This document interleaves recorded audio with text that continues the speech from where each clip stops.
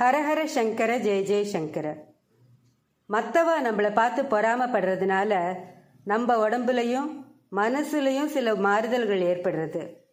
அதை தான் கண் திருஷ்டின்னு சொல்கிறோம் கல்லடி பட்டாலும் கண்ணடி படக்கூடாதுன்னு பெரியவாள்லாம் சொல்லுவா. அது முழுக்க முழுக்க உண்மைதான்.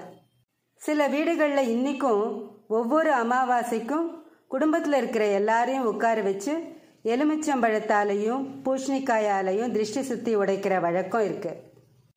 பூஷணிக்காயை சுத்தி போட்டா கண் திருஷ்டி போயிடுங்கிறது ஐதீகம். வீடு கட்டி கிரகப்பிரவேசம் பண்றச்சு அந்த வீட்டுக்கு முன்னாடி வெண் பூஷணிக்காய் கட்டி தொங்க விட்டுருப்பா. அந்த வெண் பூஷணிக்காயில் அதிக அளவில் நேர்மறை பிராணசக்தி இருக்கு. அதனால தான் நாம் புதுசாக கட்டி குடியேறுற வீட்டுக்கு முன்னாடி வெண் பூஷணிக்காயை கட்டி வைக்கிறோம். அந்த வீட்டில் ஏதாவது தீய சக்திகள் இருக்கலாம். அந்த வீட்டுக்கு முன்னாடி கட்டப்படுற வெண்பூஷ்ணிக்கால இருக்கிற நேர்மறை சக்தி அங்கே இருக்கிற எதிர்மறை சக்திகளை விரட்டிடுங்கிற நம்பிக்கை இன்றைக்கும் இருக்குது அதனால தான் வெண்பூஷணியை புதுசாக குடியேறுற வீட்டுக்கு முன்னாடி கட்டி தொங்க விடுறோம். வெண்பூஷ்ணிக்காயை தானம் கொடுத்தா அது புண்ணியம்னு சொல்கிறா வெண்பூஷ்ணியில் செய்யப்படுற உணவை தொடர்ந்து சாப்பிட்டா புத்தி கூர்மையும் உடல் புத்துணர்வும் ஏற்படுமா?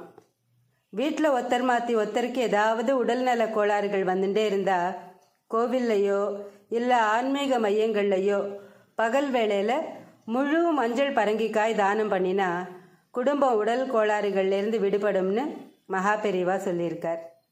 கெட்டதை அழித்து நிம்மதியை கொடுக்குற சக்தி வெள்ளை பூஷணிக்காய்க்கும் மஞ்சள் பூஷணிக்காய்க்கும் இருக்குது அதனால் ஒவ்வொரு அமாவாசைக்கும் குடும்பத்தில் திருஷ்டி தோஷம் இருக்குன்னு நினைக்கிறவா?